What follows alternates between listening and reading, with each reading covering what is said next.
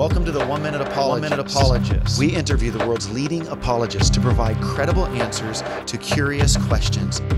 If the evidence is so compelling for evolution, why doesn't the world know? So, actually, Scripture gives us a, a hint. Uh, chapter 1 of Romans says that uh, unrighteous men suppress the truth in unrighteousness. And so, actually, it shouldn't be surprising for Christians to see that important truths, uh, truths that point to Christ instead of to Darwin, uh, would be suppressed in this world.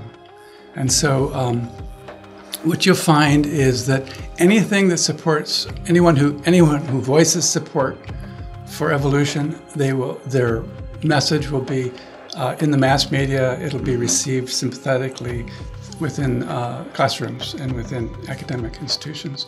And any evidence that is uh, that undermines evolutionary claims uh, basically is ignored. And so you actually have to dig for the evidence. The evidence is there, it's in the scientific journals, but uh, it's not proclaimed.